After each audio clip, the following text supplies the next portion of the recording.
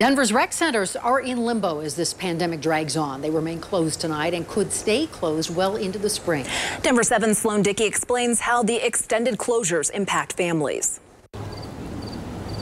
While the weather's still warm, we just went to a lot of open spaces, ran around. Gigi Hall's kids have a chance to get out and do what kids do. They do some learning in the morning and then they play a lot of the day. But as the temperatures drop, so will the options for kids to play. I just worry about isolation and especially come winter time, not being able to connect as often as we used to be able to. And another cold reality. Our rec center has been I don't know, it's just a place for community. The 30 recreation centers run by the city of Denver will likely remain closed as well. I don't just miss the rec center for our activities, but I miss the people that we would connect with while we were there. According to the city of Denver website, all recreation centers and pools are closed until further notice. The city is still holding outdoor classes and activities, but they must be outside. All of their activities were through the rec centers.